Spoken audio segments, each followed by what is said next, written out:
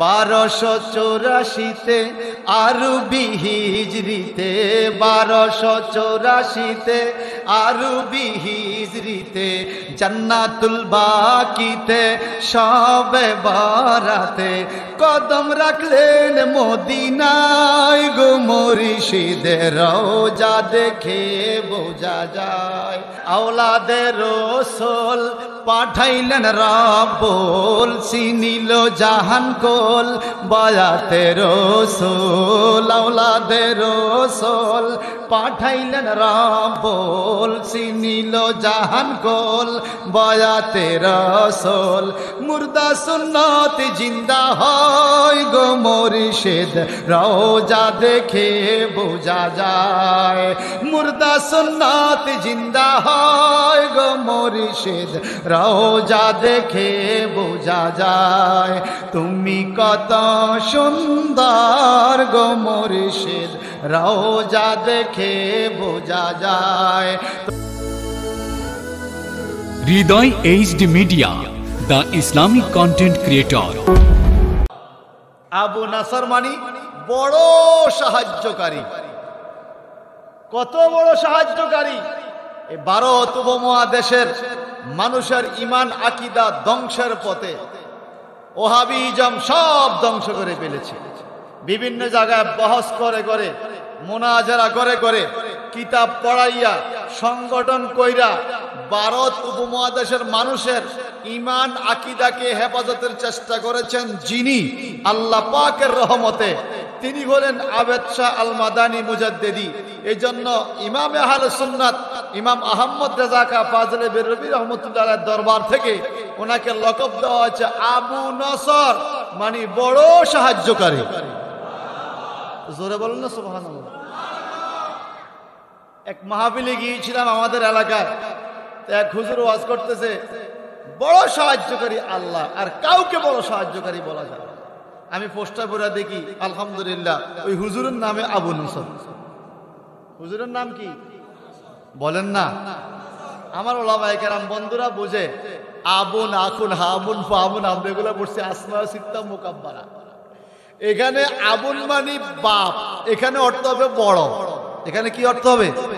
বড়। যেমন রসুলের পাকারটা নাম আছে আবুল কাসেম। বড় বন্টনকারী, সুবহানাল্লাহ বলেন। আবুল কাসেম অর্থ হলো বড় বন্টনকারী। আবু নাসর মানি যদি আপনার নাসের দিয়া লেখেন ফাইল দিয়ে, তত মোড়ে উপায় নেই নাসের দিয়া লেখলে সাহায্যকারী বড় সাহায্যকারী। তো নিজে বলতেছে আল্লাহ ছাড়া কারও কাছে সাহায্য চাওয়া যাবে না আল্লাহ ছাড়া কেউ সাহায্য করে না অথচ হুজুরের নাম আবু নসর। মানে বড় সাহায্যকারী। কথা বুঝেন? যুবক ভাইদের কাছে অনুরোধ করব। যেই হুজুর ওয়াজ করে নবীর নাম নবী মাটি নবী মাটি পোস্টার পড়ে দেখি ওই হুজুরের নাম নুরুজ্জামান। কথা কন না। হুজুরের নাম কি? কেউ রাগ হওয়ার খুশি হও, কথা আমি বলব। আমি প্রায় সময় বলি, জীবনে একটা মাহফিলে যদি কেউ দাওয়াত না দেয়, কিচ্ছু হবে না। তারপর জীবনের শেষ মনে করে কথা আজ্ঞা করতে হইব। যেটা অবশ্যই হুজুর আল মাদানী ক্যাসেটের মধ্যে আমি এটা শিখছি। এক জায়গায় অনেক তবলিক জমাতের লোক। অবশ্য হুজুরের স্মৃতি বলতে হবে না? কথা বলেন না। ওনাদের স্মরণে নাম আবিল অনেক তবলিক জামাতের। নদীর পশ্চিম পাড়ে। লোকজন বলছে, হুজুর, যা বলার বইলেন তবলিক জমাত নিয়ে কিছু বইলেন। হুজুর বলে, কেন? আজকে তবলিক জামাত নিয়েই বলিব। এক টানা চার ঘণ্টা, ইচ্ছা মতো। বলছে, বলিয়েন না, চার ঘণ্টা বলছে। আপনারা বলেন, অলি আল্লাহর দরবারে রহমত আছে না নাই? ঘোষণা কার? যে বলবে অলি আল্লাহর কাছে যাইও না, সে কি রহমত পাবে? বলেন না বলেন না, পাবে। ইন্না রহমতাল্লাহি করিবুম মিনাল মুহসিন। এই কথা কার? কোরআন শরীফের দলিলটাকে চার ভাগে ভাগ করা হয়েছে। এবারাতুন নাস, ইশারাতুন নাস, দালাতুন নাস, ইক্তদাউন নাস। ডাইরেক্ট সরাসরি নাস দ্বারা আমার আল্লাহ পাকের দলিল ইন্না রহমাতাল্লাহি কারিবুম মিনাল মুহসিনিন। এটা ইশারা নয় ডাইরেক্ট এবারত।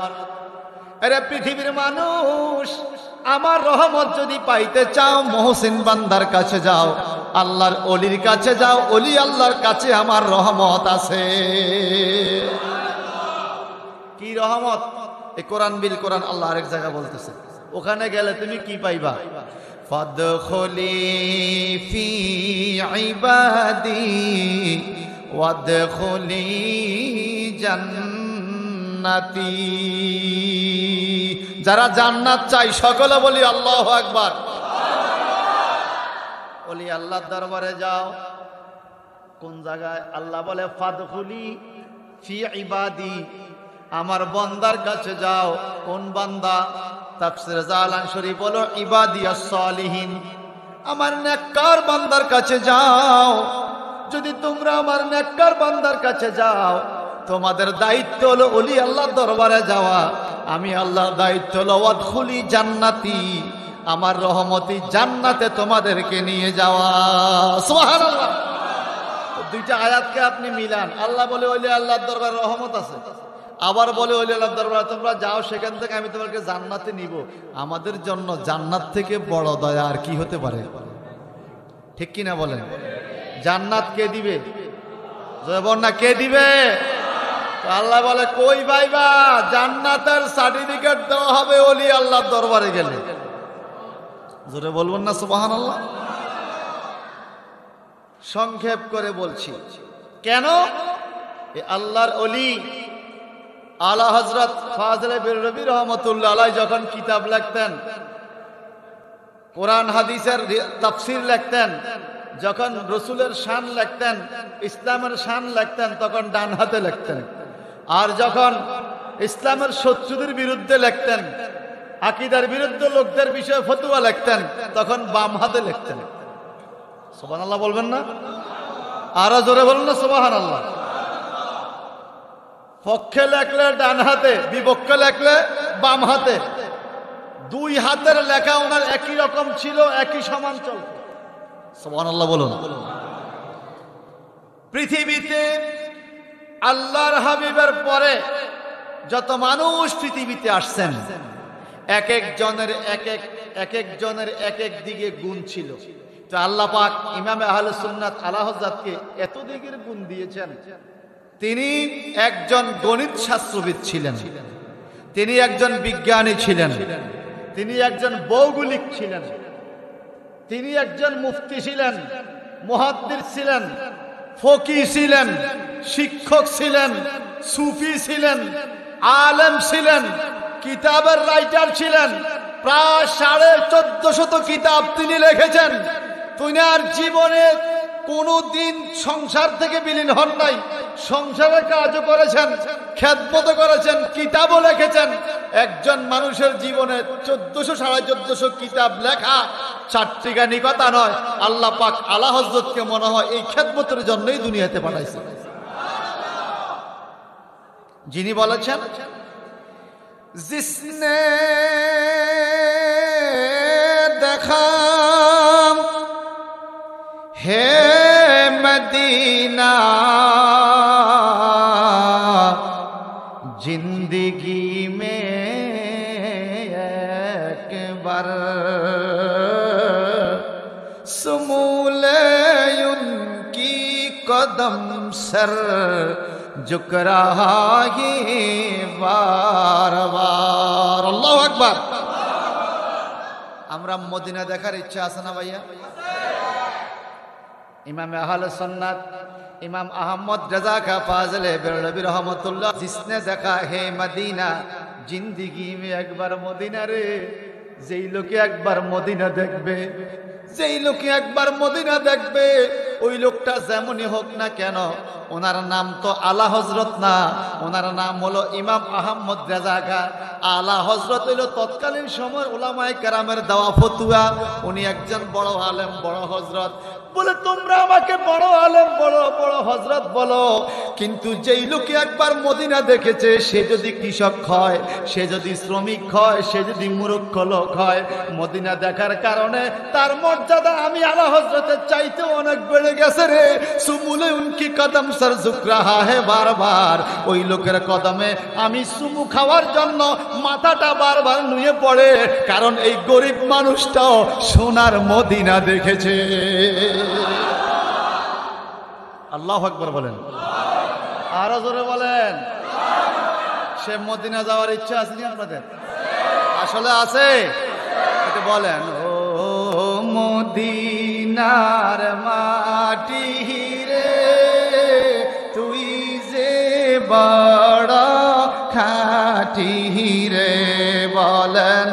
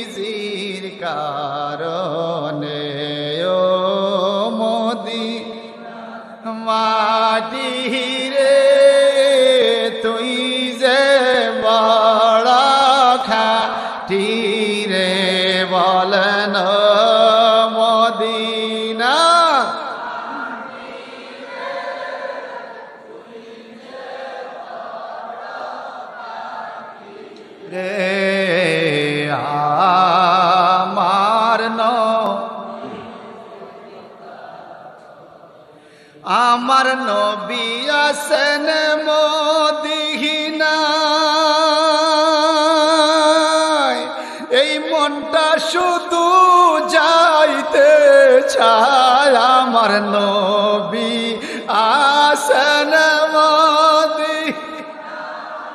এই মনটা শুধু যাইতে চায়, একবার গেলে নবীর দরবারে অন্তর শীতল হইয়া যায় রে। একবার গেলে নবীর অন্তর শীতল হইয়া রে। আমার নো বিজির কারণে বলে আমার মোহব্বতে ও মদিনার মা তুই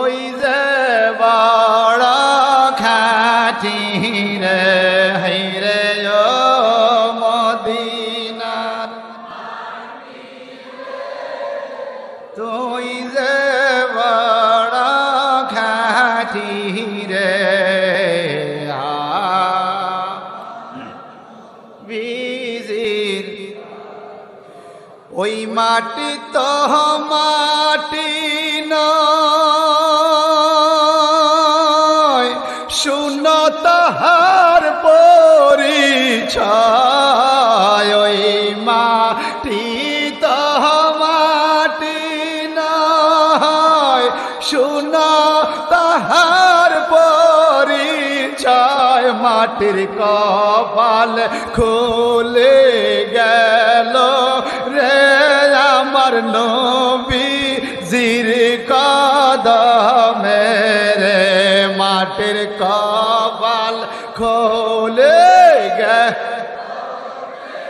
আমার নবীজির কদমে রে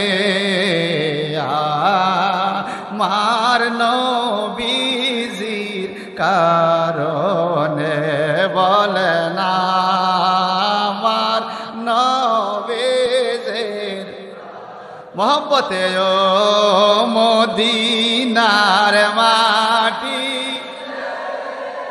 তুই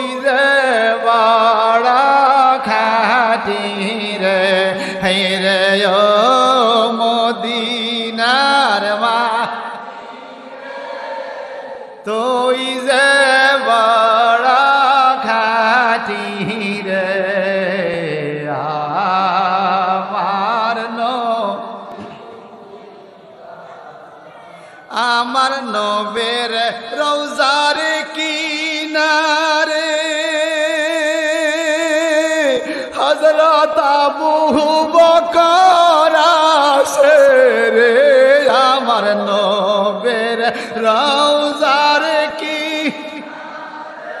হজরত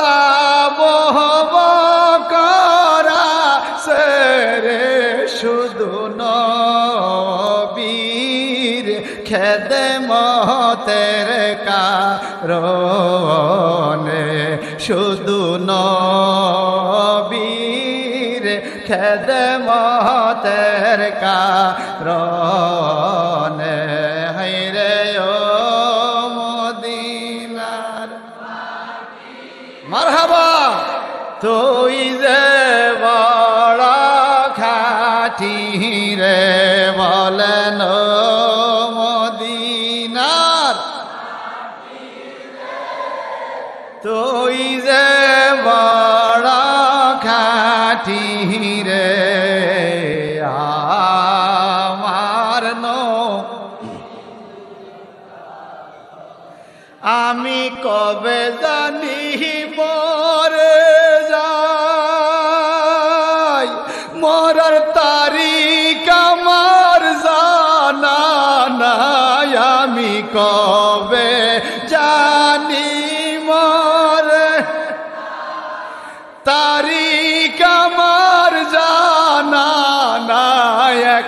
দোয়া মাওলার দরবারে মরণ দিও নবীর শহরে। একটা দোয়া মাওলার দরবারে মরণ দিও নবীর শহরে। আমার নো হাইরে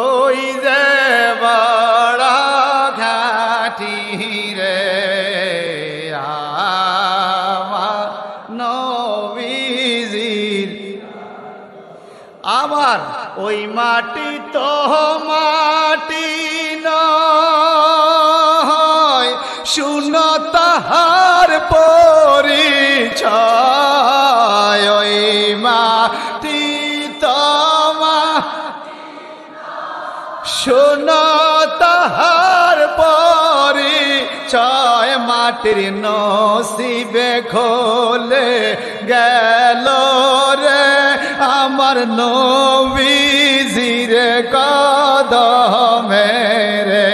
মাটির নসিবে খোলে আমার নবীজির কারণে রে। আমার নবীজির কারণে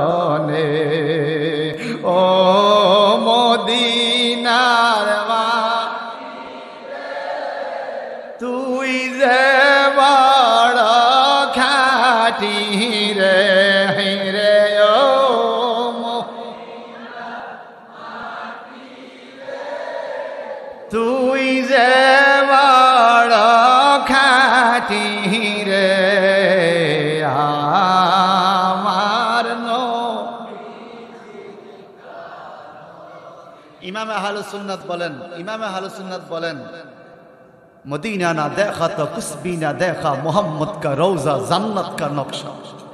জোরে বলল সুবহান আল্লাহ তুমি মদিনা না দেখলে কিছুই দেখা হলো না। মুহাম্মদ কা রৌজা জান্নাত কা নকশা, বাণীটা হলো আলা হজরতের রসুল পাকের রওজা পাকের দিকে তাকাও। বেহেস্ত যদি দেখতে চাও, নবীর রওজা পাক হলো বেহেস্তের নকশা। আমাদের দেশে নকশা নমুনা ছায়াতে ইঞ্জিনিয়ার বিল্ডিং বিল্ডিং এর নকশা করে, ঠিক কিনা? আর মিস্ত্রি সেই নকশা ছায়া বিল্ডিং উড়ায় আলা হজরত বলেন, জান্নাতের নমুনা হলো মদিনা। জোরে বলবেন না সবহান আল্লাহ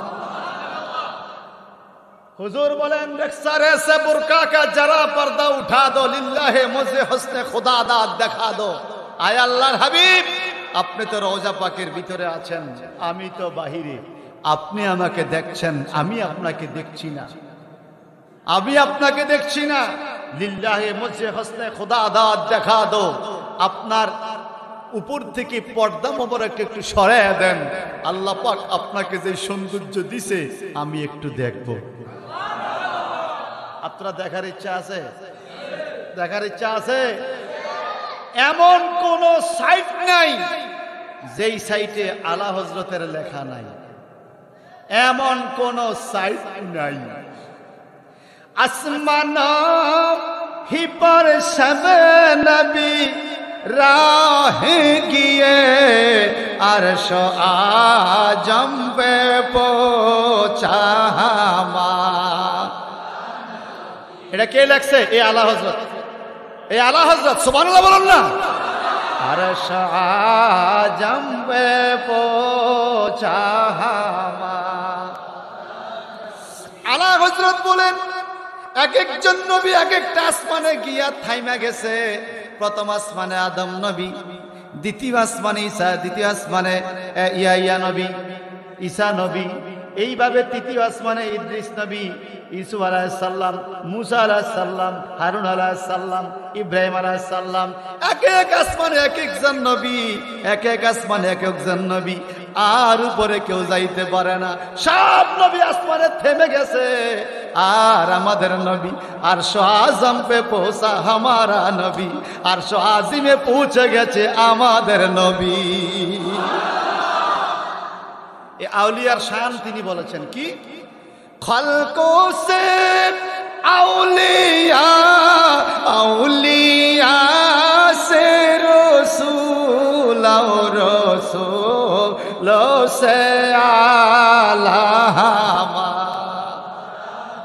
বি সবসে আ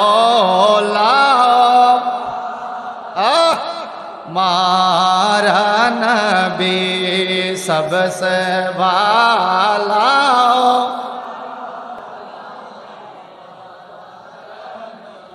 এটা কে বলছে আল্লাহ হজরত अपने मौला का प्यारा हमारा नबी दोनों आलम का दुल्हा नबी सबसे औला रानबी सबसे वाला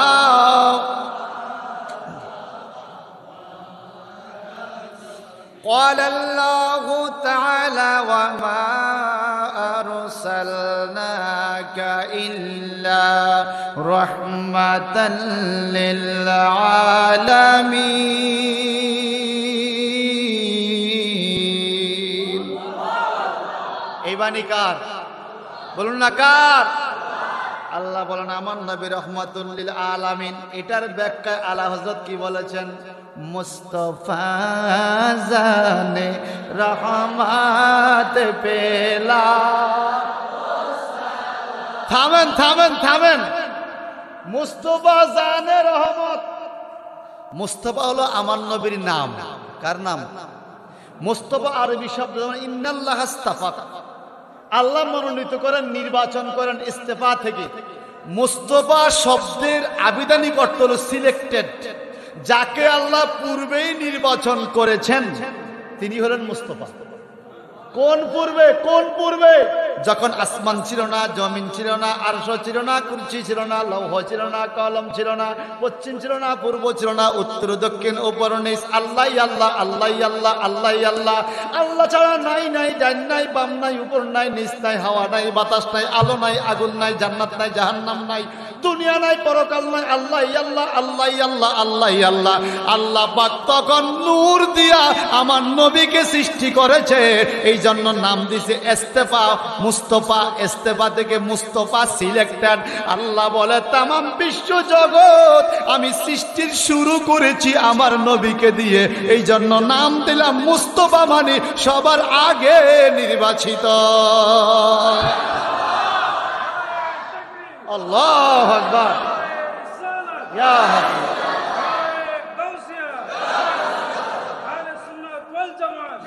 আমি আমি এই আয়াতের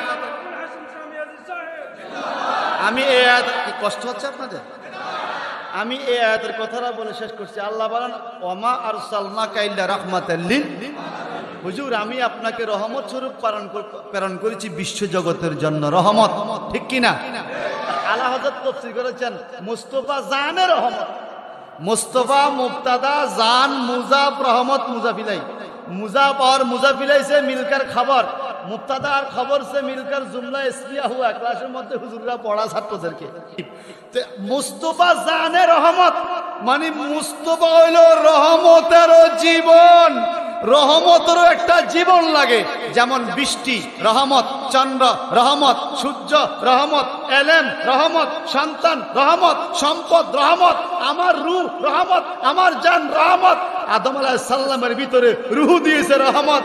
রুহু কান্দে, থাকব না খোদা, অন্ধকার অন্ধকার রহমত। রুহু বাঁচবে কাকে দিয়ে আল্লাহ জানে?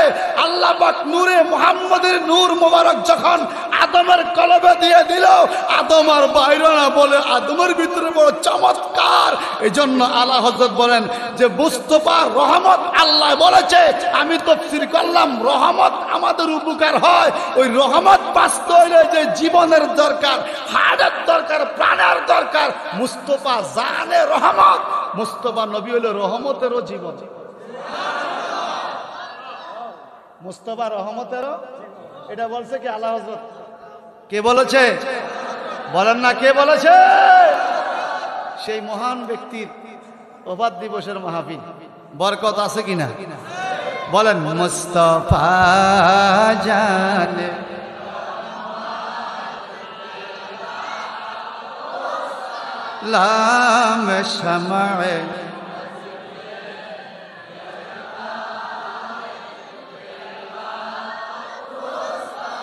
এটা আমরা পড়ি তো সব সময় পড়বেন পড়বেন।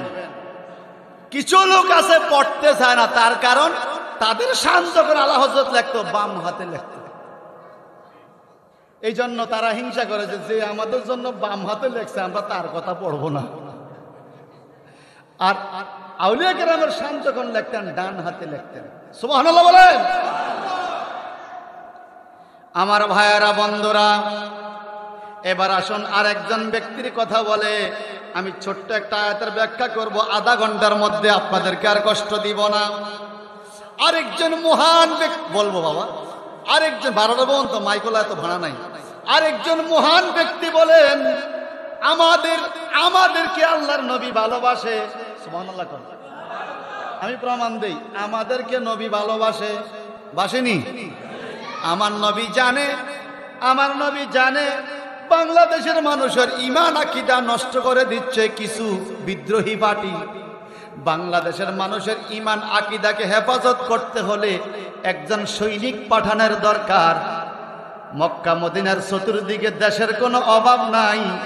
আমার নবী বাংলাদেশের মানুষকে জান্নাতে নিতে চায় বলেই আবদ শাহ আল স্বপ্ন যুগে বাংলাদেশে পাঠাইছে। কথা বলেন ঠিক কিনা? নবী চায় যে বাংলাদেশের মানুষ আমি পার করব। এই জন্য ইমান, আকিদা, হেফাজতের জন্য আমার মুর্শিদ কেবলা আবেদ শাহ আল মাদানি মুজাদ্দিদি হুজুরকে বাংলাদেশে পাঠাইছে নবী নিজে। নেটের মধ্যে ওনার রেকর্ড আছে। আবাসা হুজুর বলেছেন আমি তো নিজের ইচ্ছা আসি নাই, আমার ডিউটি আছে, আমি নবীদের ইচ্ছা আসিয়াছি। কে পাঠাইছে? বন্যাম, নবী। কে পাঠাইছে? আর কে? তা আলা হজরতের শান বললাম এখানে দুইজন মহান ব্যক্তি না। একটু ওনার শান বলতে হয় না? বারোশো চৌরাশিতে আরবি হিজরিতে, বারোশো চৌরাশিতে আরবি হিজরিতে, জান্নাতুল বাকিতে, সবে বারাতে। কদম রাখলেন মদিনায় গো মরিষিদের রোজা দেখে বোঝা যায়, তুমি কত সুন্দর গো মরিষিদের আমি শানে মুর্শিদিরা যেদিন লেখছি, এর আগের দিন আমি আমার আব্বাকে বলছি, আব্বা, আমি তো আবার সাহুদুরকে আপনাকে সরাসরি দেখি নাই। ছোট ছিলাম, আব্বা বলছে, তোমরা ছোট ছিলা, দেখি নাই। তো হুজুরের ছবি আমার আব্বার কাছে থাকতো, হুজুরের পাগড়ি, কালো পাগড়ি পড়ার ছবি। এত সুন্দর ছবি, বৃদ্ধ কালের ছবি, একশো হুজুর ছাব্বিশ বছর বয়স কালের ছবি। আমি বললাম, আব্বা আবশ্যা হুজুর কেবলা, এত বয়স ও এত ডকের, এত সুন্দর ছিল, ছবি কত সুন্দর। বলে, আরে বেটা, হুজুর কেবলা যত সুন্দর ছিল, ছবির মধ্যে এত সৌন্দর্য আসে নাই। মানে ছবিতে যা সুন্দর, হুজুর নাকি আরও সুন্দর ছিল, আমার শামসু ভাই করতে পারব? কথা ঠিক কিনা কোন? ছবির মধ্যে যে সুন্দর, হুজুর আরও সুন্দর ছিল, ঠিক কিনা?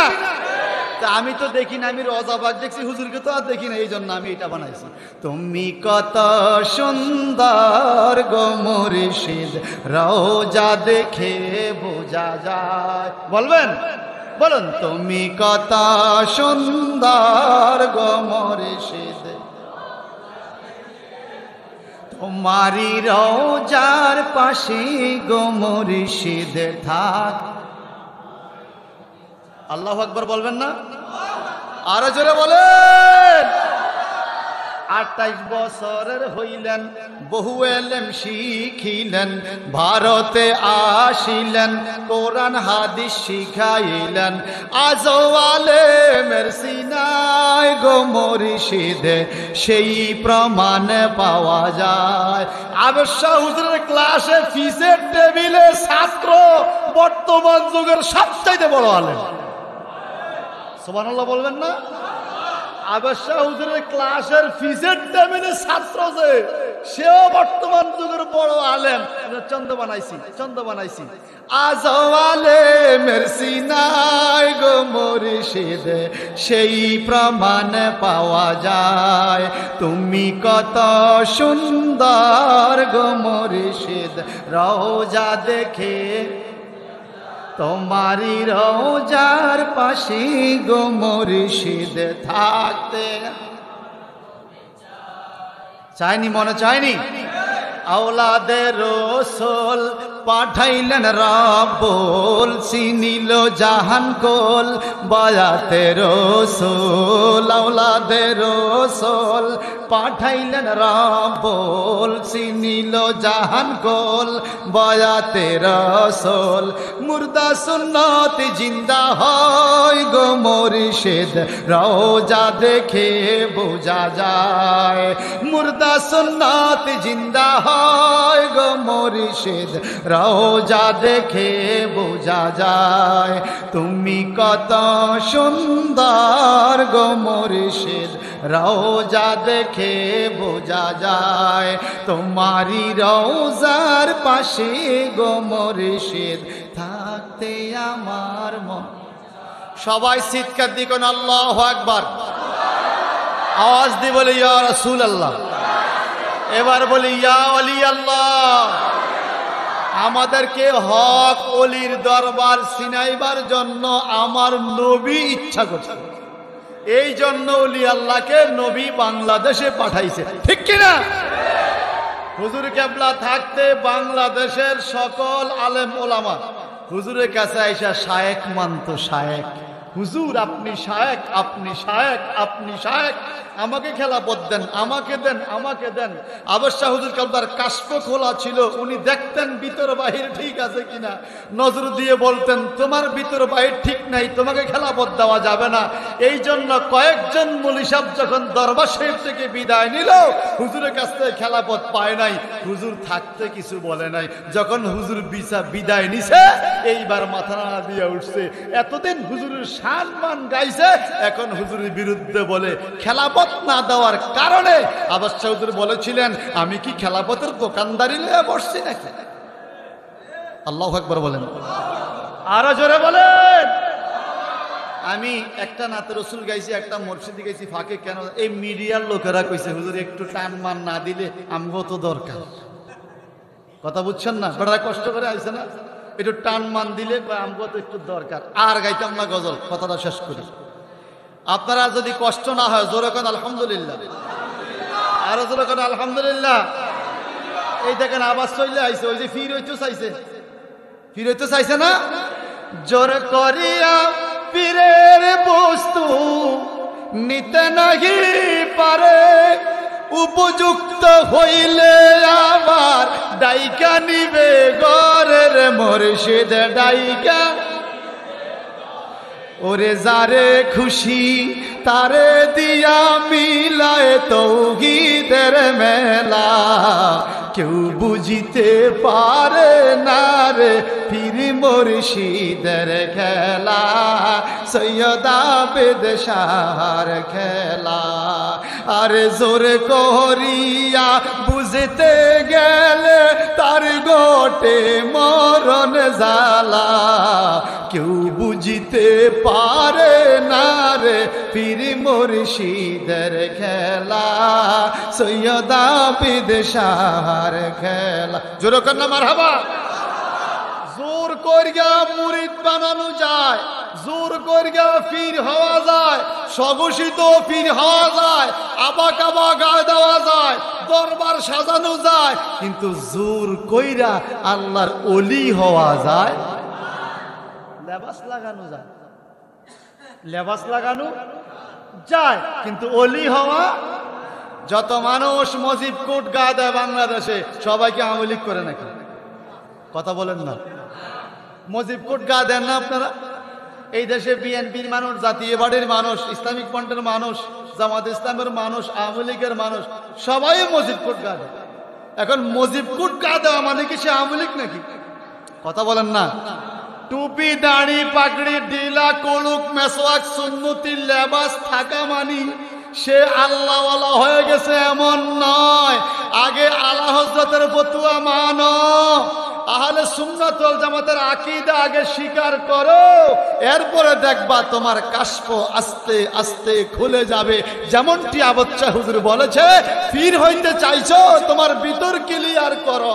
যেই পীর ভিতর দেখে না মুরিদের সে কখনো কামেল পীর হতে পারে না পারে না পারে না। ঠিক কিনা বলেন?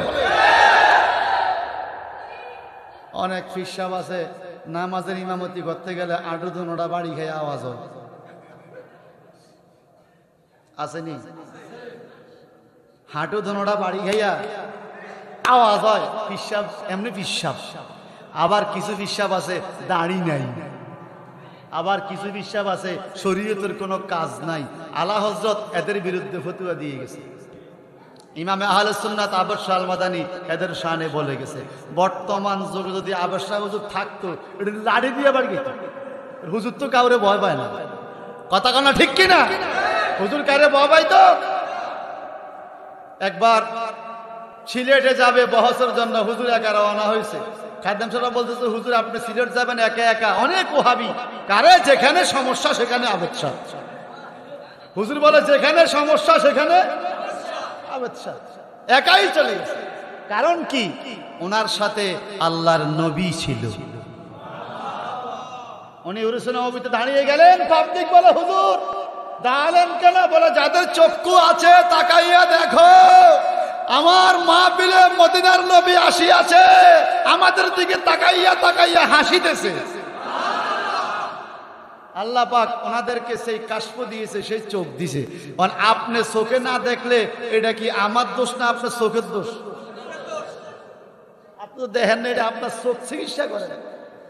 ঠিক কি না ভাই সাহেব আউলিয়া কেরামের পাওয়ার ক্ষমতা আছে না নাই? লাকসাম যে কোনো এক কাজে, বর্তমান পিসাবুজুর সাবিরুন নাজাদ বইয়ের মধ্যে কেরামতটা দিছে। লাকসাম যে কোনো এক কাজে, আমি যার সান্নিধ্য দুই বছর পেয়েছি উগারিয়া হাই স্কুল মাহাপিলে আল্লামা মালানা মমতাজ উদ্দিন আল আবিদি মারহাবা করেন। উনি আমাকে মোসা দিয়েছেন আদর করেছেন। প্রথম প্রথম যখন মাহফিলে আসতাম ওনাকে পাঠাইছে লাকসাম যে কোনো এক কাজে হুজুর। উনি ট্রেনে উঠে বসছেন হুজুর জানে না। মমতাজ হুজুর জানে না। মনে হচ্ছে সাতপুরের ট্রেন হুজুর বুঝতে পারে নাই অনেকগুলো ট্রেন এটা যেভাবে লেখছে আর কি কিতাব। ট্রেন যখন আউটার স্টেডিয়াম পার হয়ে চট্টগ্রাম দিকে রওনা হয়েছে যে এটা কোন দিকে যাচ্ছে? এটা চট্টগ্রাম। হায় হায় হায় আমার তো আমার মুর্শিদ কেবলা পাঠাইছে, খবর নিয়ে যাইতে। বলে, চট্টগ্রাম বলে, আমি এখন কি ইয়া মুর্শিদ! এটা বলতে দেরি মুহূর্তের মধ্যে ট্রেন থেমে গেছে। আরও জোরে বলেন। ট্রেন থেমে গেছে। আল্লামা মাওলানা মমতাজউদ্দিন আল আবিদি হুজুর, ওই ট্রেন থেকে নাইমা আবার চাঁদপুরের ট্রেন ওইটা দরবারে আসছে। হুজুর খানকার সামনে বসা, এ মমতাজ, ভুল করিয়া কি চট্টগ্রামের ট্রেনে উঠলে দরবারে আসা যাবে? আল্লাহ একবার বলেন। ভুল করিয়া কি চট্টগ্রামের ট্রেনে উঠলে দরবারে আসা যাবে? হুজুর বলে হুজুর, বলে, তুমি ভুল করে কেন চট্টগ্রামের ট্রেনে উঠলা? আবদ শাহ হুজুর কি আপনার সাথে মমতাজ হুজুরের আধ্যাত্মিকতা, প্রেমটা কত ছিল? লাকসাম থেকে ইয়া মুর্শিদ ডাক দিয়েছে, মুর্শিদ ট্রেন থামাইয়া দিছে। এই হলো ফিরের আর মুরিদের মধ্যে মহব্বত। আর আমগো বর্তমান মুরিদ যেমন, ফিরে ওয়াজ করলে মুরিদের দলিল খোঁজে, ফিরে এটা কোন কি দেবের থেকে কইছে? তুই কেরম না ফির ধরলি বেটা, আবার দলিল খোঁজাস? কথা বলেন ঠিক কিনা? ফিরে বলছে, এটাই তো দলিল। আবার ফিরে কোন কি দেবের থেকে বলছে, তুমি যাচাই করো, তুমি তো ফির সাহেবের ফির মানলে না। কথা বলেন ঠিক না ভাই সাহেব, বন্ধুরা আমার, গতকালকে গাজীপুর আমার মাহফিল ছিল।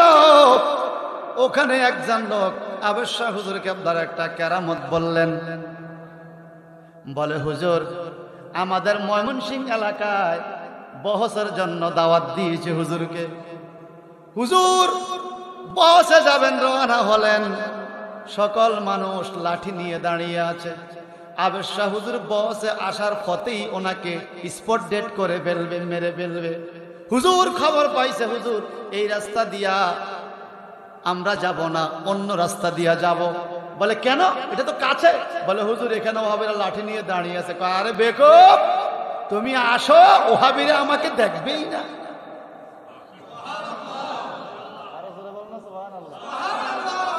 আবার শাহ হুজুর কাবলা নাকি হাসতে হাসতে বলতো, বেকুফ? এরকম কথা বলতো, আমার আব্বা মাঝে মাঝে বলতো। হুজুরের এই বকায় ছিল বেকুফ। আরে বেকুফ, চলো ওহাবিরা আমাকে দেখবেই না। শত শত আমি লাঠি নিয়ে দাঁড়িয়ে আছে, হুজুর আসবে। ওদের ভিতর দিয়ে হুজুর চলে গেছে স্টেজে। সবাই ওখানে মাইকে বলে আবার শাহ চলে আসছে, কোন দিক দিয়ে এই রোডে তো আমরা তো দেখলাম না। আরও জোরে!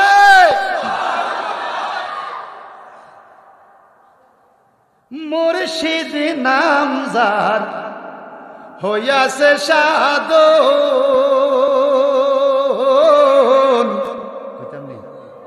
কইতাম নি? আমরা কষ্ট থাক।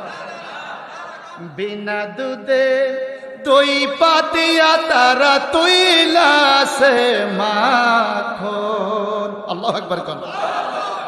সেই মাখনকে বকন করলে? ববের খুদা থাকবে না, লোহা, লোহার বানাইলার কাঞ্চা সোনা। মুর্শিদ গুনা মনি গো, মুর্শিদ পরশ মনি গো, লোহা, লোহার বানাইলার কাঞ্চা। মারহাবা কন? আরেকটা কারামত বলি, হুজুর, আমার গ্রামে, নলুয়া গ্রামে, আমার গ্রামে কচুয়া। একজন লোক চার পাঁচ বছর বিছনায় শোয়া, অসুস্থ। যায় যায় অবস্থা। আমাদের হুজুর কেবলা, সেখানে বিরাশি সালে আমাদের মুরব্বীরা বলছে, নলুয়া বাজার মাহফিল করতে গেলেন। তো মাহফিল পরে বলে, হুজুর, একজন মুমূর্ষু রুগী আছে, আমাদের এলাকা একটু যদি দোয়া করে যাইতেন। বলে, চলো। হুজুর কেবলা বলে, চলো। সবাই বলতেছে, হুজুর কোন দিকে যাবে? বাড়ি কীভাবে চিনে ভয়ে কেউ হুজুরের সামনে হাঁটে না। বর্তমানে না, আমরা হুজুরের সিনার লগে ধাক্কা দেয় সেলফি তোলার লাগিয়া কথা কন না। হুজুরে এমন ভালোবাসে হুজুরে ফাড়াই ডাইল করে। ভালোবাসে। আবার কিছু কিছু ভালোবাসা দেখি পিসাব তো জিকির করে, আল্লাহ আল্লাহ মুড়িদে আই কি জিকির করে খোদা দে এত এই কথা বলে এটা আপনারা দেখছেন? ও ভালোবাসা রে, এমন ভালোবাসা হুজুর রে দিছে, হুজুর সে। ভালোবাসা জাতায় হুজুর শেষ বাসাও উঠে না জাল্লা লটকাইয়া, এটা কেমন শরীয়ত বুঝলাম। আছে কি না কন? এই জন্য এক শিল্পী নাকি আবার গান বানাই গান বানাইছে। এত লাফাস কেন রে তোরা? এত লাফাস কেন? লাফাইয়া খোদারে ভাই রে, আগে হয়তো দেন কথাটা তো আসলে ঠিক। এরকম লাভ আস কি লাফ রে ভাই হ্যাঁ? তো ফিসাবের সাথে সেলফি তুলে। শোনেন, মুজাদ্দাদে আলবাসানি রহমতুল্লাহ মাকতুবাদ শরীফে ফির মুরিদের সম্পর্কের কথা বলে, সেখানে একটা ইঙ্গিত আছে যে ফিসাবের ছায়ার মধ্যে পা রাখাও মুরিদের জন্য বেয়া বেয়াদ ফিরের ছায়ার মধ্যে পা রাখা মুরিদের জন্য, আর বর্তমানে আমরা কেমনে বাধ্যদিকতা ফিসাবের সামনে দিয়ে আড়ি, আগে আগে আমার নামটা আয়োগ। ফেসবুকে হুজুরের আগে আমি উঠতে ঠিক না? এরকম আছে কিনা কন? আমার সেখানে মানুষগুলো পিছি পিছে হাঁটে, হুজুর আগে আগে হাঁটে। হুজুরকে কেউ কিছু বলে না, জীবনে হুজুর ওই রুগীর বাড়ি চিনেও না, যায় নাই। কিন্তু হুজুর আগে আগে প্রায় এক কিলো হেঁটে হেঁটে তার বাড়িতে, তার নামও হুজুরের কাছে বলে নাই, এখনও মানুষ বলা বলি করে। তার নাম হুজুরের কাছে বলে নাই, হুজুর ঘরের সামনে যায় বলে, এ আব্দুল খালেক, দাঁড়াও। ওই রোগীর নাম ছিল আব্দুল খালেক। কি নাম? আব্দুল খালেক, দাঁড়াও। এই কথা বলতে দেরি। চার, পাঁচ বছর আব্দুল খালেক বিছনা শোয়া বসতেও পারে না। এই আব্দুল খালেক দাঁড়িয়ে গেছে। আর জোরে বলুন না, আল্লাহ একবার আমরা কোন আল্লাহর অলি পেয়েছি? আব্দুল খালেক দাঁড়িয়ে গেছে। মানুষ তো আশ্চর্য। আমরা হুজুরকে বাড়ির ঠিকানাও বললাম না, রুগীর নামও বললাম না। পাঁচ বছর রুগী শোয়া এখন রুগী দাঁড়িয়ে গেছে। সোহান আল্লাহ কর। মাথা বুলাইয়া দয়ার হাত বাড়ো বয়াতে রসুল লইলো। হাত বাড়াইছে, বয়াতে রসুল নিছে এই আব্দুল খালেক। এই আব্দুল খালেক তখন তো সুস্থ হয়েছে ইন্তেকাল পর্যন্ত একটা ট্যাবলেট খাইতে হয় নাই। ইমাম রাব্বে দরবার শরীফে উনি সাতাইশ বছর, এরপরও হুজুরের ইন্তেকালের পরও সাতাইশ বছর ছিল। সাতাইশ বছর সাতাইশটা গরু এলাকার থেকে কালেকশন করে দরবার হাইটে আসতো। আব্দুল খালেক গত কয়েক বছর আগে মারা গেছে। ওনার এই কেরামত দেখে আমাদের এলাকায় হাজার হাজার মানুষ মরিদ হয়ে গেছে। এক গ্রামে দুইটা খানকা, আমার গ্রামে আবিদিয়া খানকা দুইটা। তো কতগুলো লোক হলে দুইটা খানকা? মার হাবা বলবেন না। আরেক লোক, নাম হলো বাচ্চু। প্রমাণ করতেছে যে আপনারা এখন লোকটা এখনও বেঁচে আছে। আমাদের হুজুর চিনবেন, এদিক দিয়ে আকানিয়া নাসিরপুর আছে আকানিয়া নাসিরপুর রাজাপুরা দিয়ে যাইতে হয়। নাসিরপুর গ্রামের বাচ্চু নামক একজন লোক। আমরা অলি আল্লাহর মাহফিলে আসছি না? তো ওনাদের সামনে তো বলব। বাচ্চু মিয়া একজন লোক, উনি টাকা হারাইয়া ফেলছে। সতেরোশো টাকা, সেই চুরাশি, পঁচাশি সালের টাকা সতেরোশো তো এখন এক দেড় লাখ হইব। অনেক টাকা। উনি টাকা হারাইয়া দৌড়াইয়া আসছে কোন আচ্ছা হাইটা হুজুরের বাড়ি।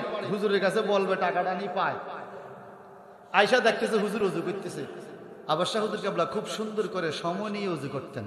এখন আমরা না অজু কুলিয়ে মুখে দেওয়ার নাকে একবারে।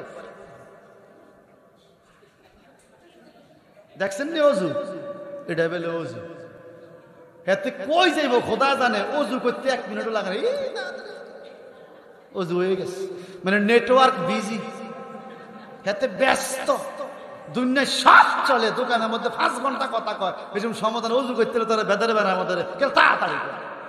অজু সুন্দর করে করতে হবে, এভাবে সুন্দর করে দাঁড়িয়ে খিলালি করে ভালো করে দুইতে হয়। কথা কোন ঠিক না?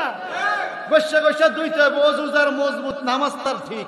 আল অজু মেপ্তাউ সালাত, অজু হলো নামাজের সাবি। ঠিক কিনা তো আজব আবার কাবলা সুন্দর মতো অজু করে, সুন্দর মতো সময় লাগাইয়া, এই লোকে বয়ে কিছু বলা সুন্দর মতো দাঁড়াই আছে। অজুর উপরে হুজুর দাঁড়াইছে। হুজুর কাবলা লম্বা ছিল না, বাটি ছিল?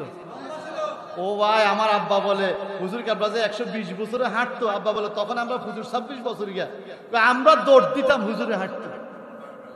হুজুর সাথে হাইটা কুলাইতো না, আসলে কথা ঠিক কিনা আপনারা মুরব্বীরা বলেন, বৃদ্ধকালে হুজুরের সাথে হাইটা কোনো মানুষ তুলাইছে না। তো হুজুর দাঁড়াইছে নি।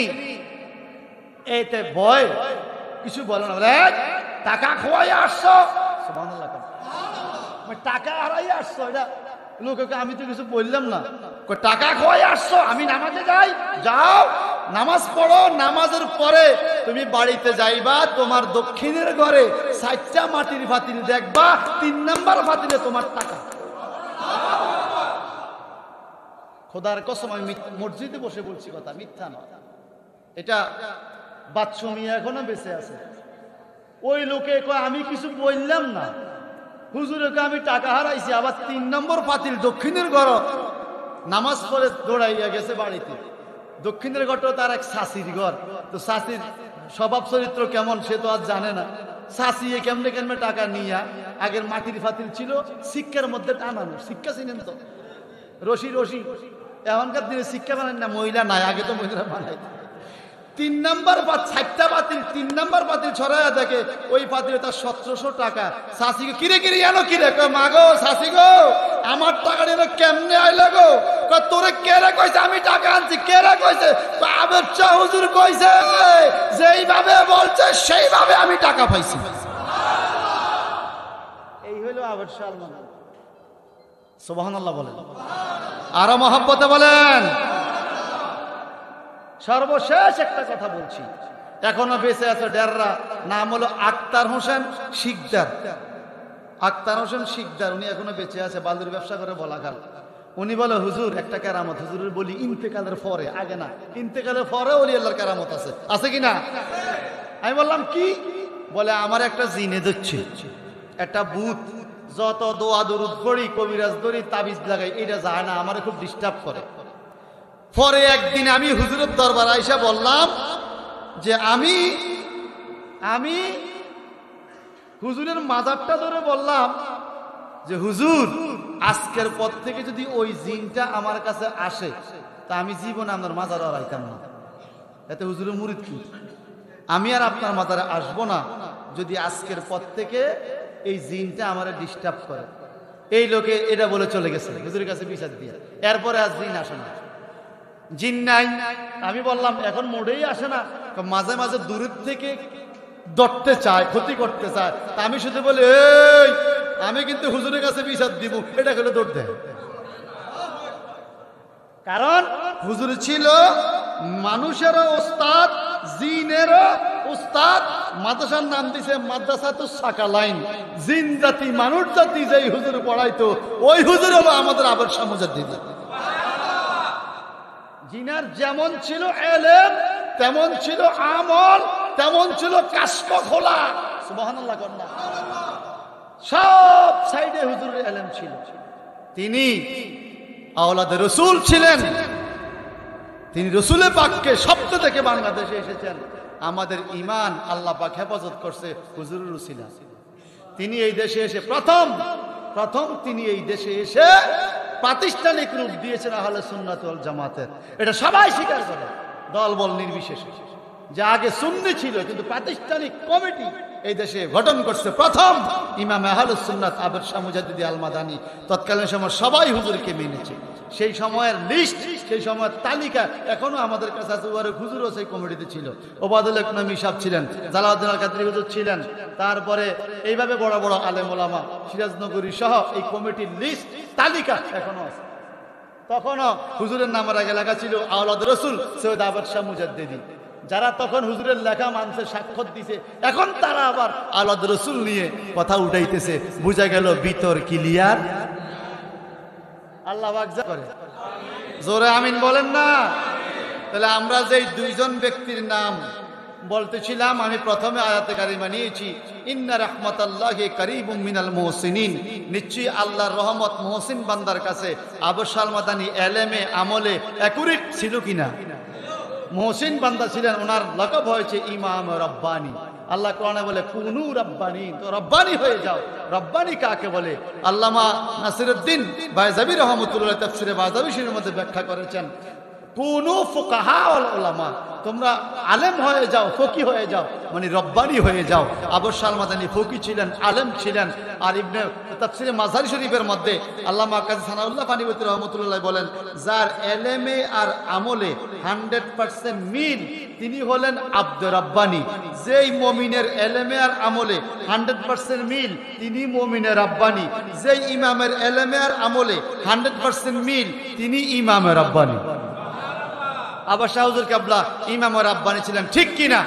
যারা বিবেক দিয়ে, বুদ্ধি দিয়ে, শ্রম দিয়ে, টাকা দিয়ে, পয়সা দিয়ে আজকের এই আয়োজন করেছেন এই এলাকাবাসী, যুব কমিটি, দুইজন মহান ব্যক্তিকে স্মরণ করেছেন। একজন ইমাম আহলে সুন্নাত, ইমাম আহমদ রাজাকা ফাজল বিন রবি রহমতুল্লাহ আলাই আরেকজন ইমাম আহলে সুন্নাত আওলাদ রসুল আবু নসর সৈয়দ আবদ শাহ মুজাদ্দিদি আল মাদানি রাদিয়াল্লাহু তাআলান এখানে রহমতুল্লাহ রাদিয়াল্লাহর মধ্যে ভেজাল আছে। অনেকে রাদিয়াল্লাহ তা আনু বললে হিংসা করে। করে কি না বলেন? কিন্তু রাজি আল্লাহ তালা আনু মানে কি? আপনি যদি মমিন হন, আপনার উপরে আল্লাহ রাজি হইলে আপনার নাম রাজি আল্লাহ আর ফাজলে ক্লাস একটা কিতাব পড়ানো হয়, হেদায়া। হেদায়া কিতাবের মুসান্নেফ, রাইটার, নিজে লিখেছেন কালা মুসান্নেফু রাদি আল্লাহ তালা আনহু। নিজেকে নিজে রাজি আল্লাহ তালু দিয়েছেন। অর্থাৎ বড় বড় আলেম যারা নবীর আসে, বড় আলেমদারি, এদের সানে রাজিলতানু ব্যবহার করা যায়, এতে কোনো বাধা নেই। আল্লাহ তাবারাকা তাআলা এই দুইজন মহান ব্যক্তির উসিলায় আমাদের সবাইকে কবুল করো জোরা বলো না আমিন। অষ্টগ্রাম যে যে গ্রাম থেকে আসছেন, প্রত্যেকের আব্বা আম্মা রুহুর আসতে আল্লাহ আমাদের কবুল করো। আল্লাহ আব্বা আম্মার কবর তুমি জান্নাতি হাওয়া জারি করে দাও। এ আল্লাহ, বিশেষ করে যারা অসুবিধা রয়েছে, অভাবে অনটনে রয়েছে, আল্লাহ মহান দুজনের উসিলায় মহাব্বতে সদ্গাতে তুমি আমাদের সবাইকে স্বাবলম্বী করে দাও। সকলে বলে আমিন।